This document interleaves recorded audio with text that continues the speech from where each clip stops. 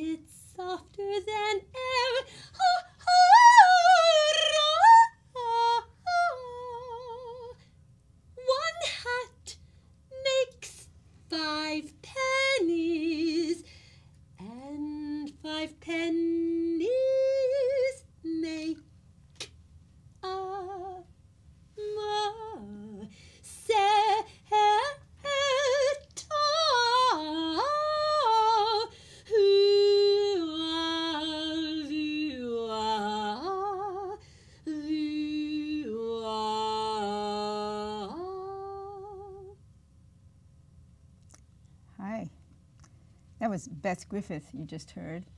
This Bern Nix, Andrew Bolotowsky. I'm Lenore Von Stein, and this is The Facts. Uh, and uh, this episode, I, I, I think I'm, I'm going to call it Static Memories.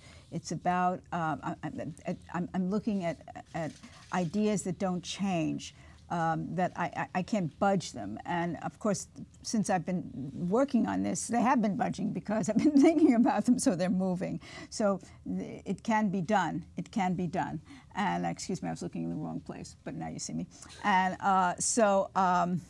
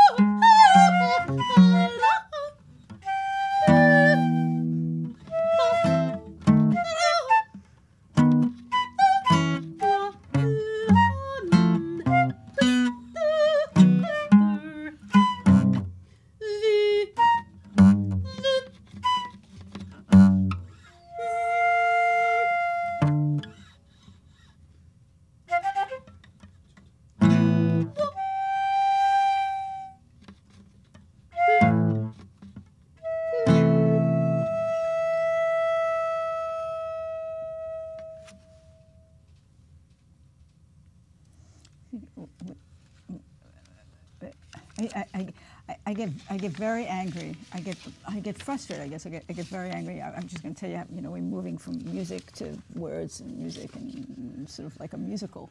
anyway, I, I, get very frustrated, and angry when when people pretend not to see.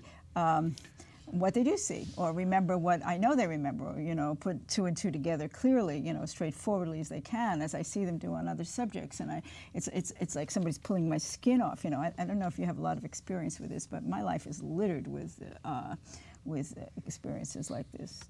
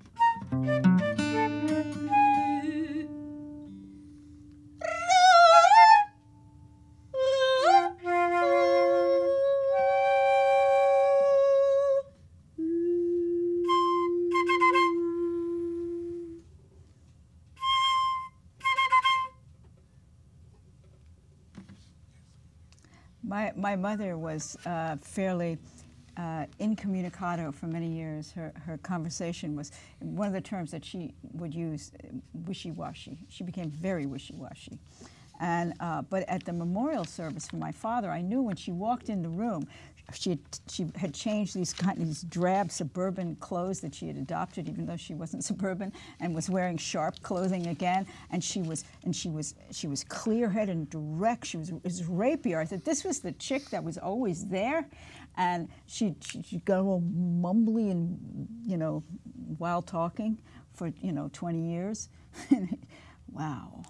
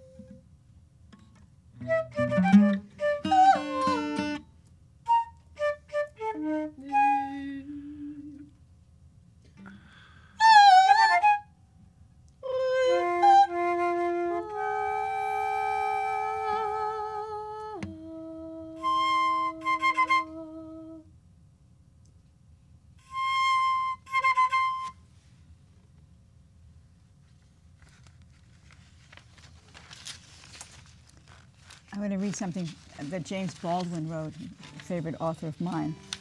He wrote this in a story. He was A stranger in a, in a village when he was in Switzerland, and he was talking about, well, anyway, this is what he said. People who shut their eyes to reality invite their own destruction, and anyone who insists on remaining in a state of innocence long after innocence is dead turns himself into a monster. He was talking, Baldwin was talking about American racism, the white culture's maintenance of the oblivion of the humanity of people of color, their human weight.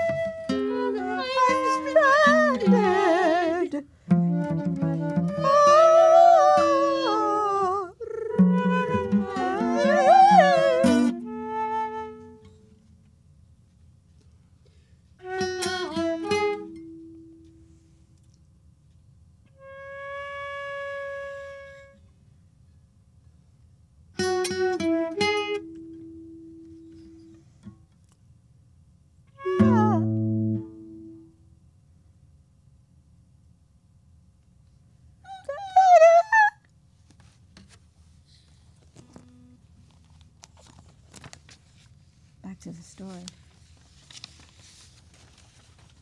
A tool of oppressors, you know, in bullying situations, a, a, a good tool that, for oppressors is that the victims cannot believe this has happened to them, you know, what's happening to them. Because if it's, if it's the victim's fault, at least you have some control.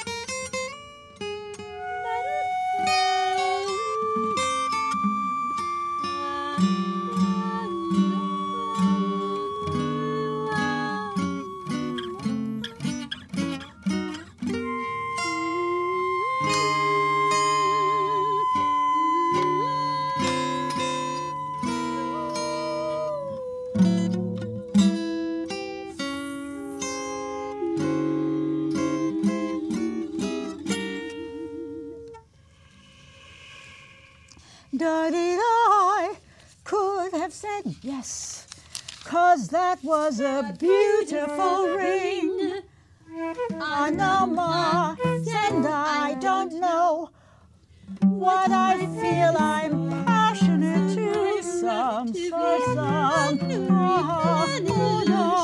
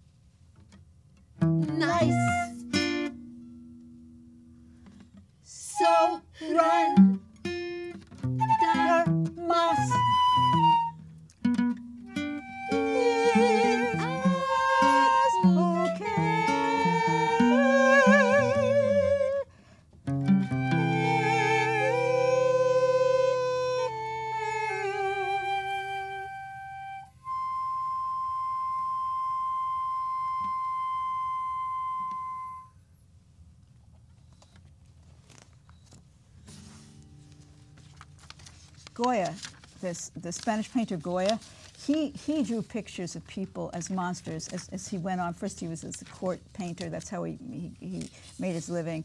And then, as he got freer, he, he drew people as monsters. And he lived through the Spanish Inquisitions and, and wars. And he he chronicled the war atrocities and. Um,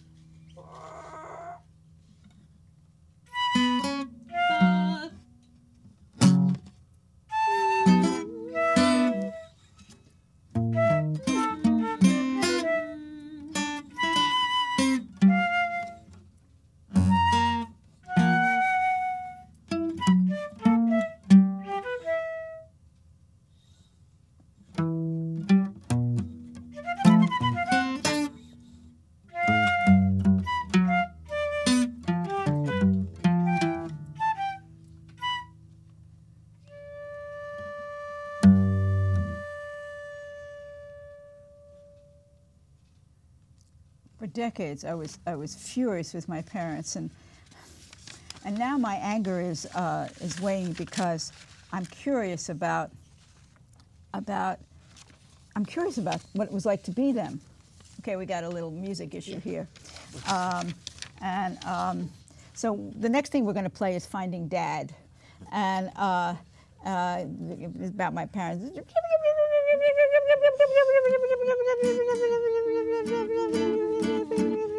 No.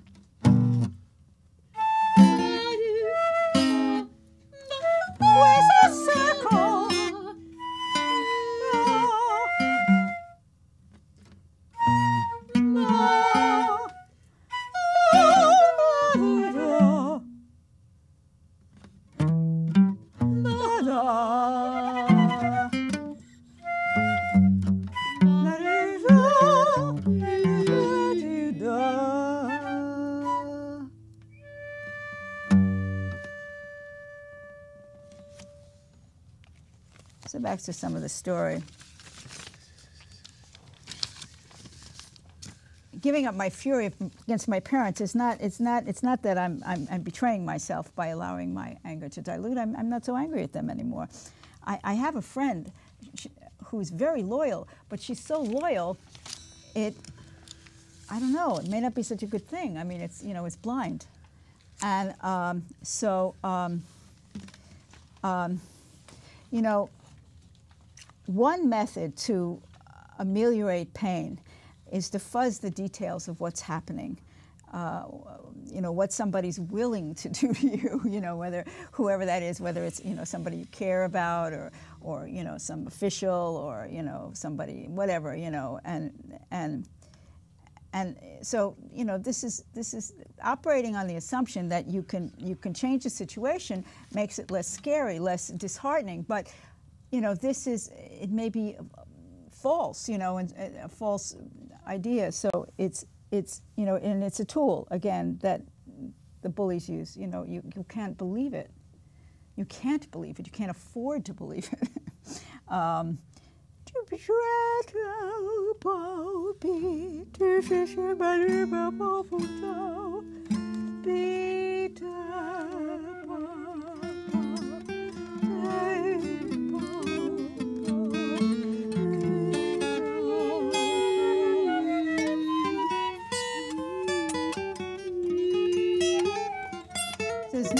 was was uh, the, the, words come directly from an incident I heard at uh, the Starbucks on 125th Street. Um, and Lenox, I think, I'm not sure, but anyway. Um,